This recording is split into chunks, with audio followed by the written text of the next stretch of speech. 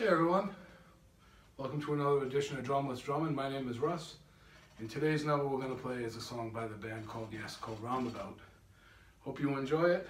Hope you all stay safe during the crazy pandemic. And here we go. Roundabout.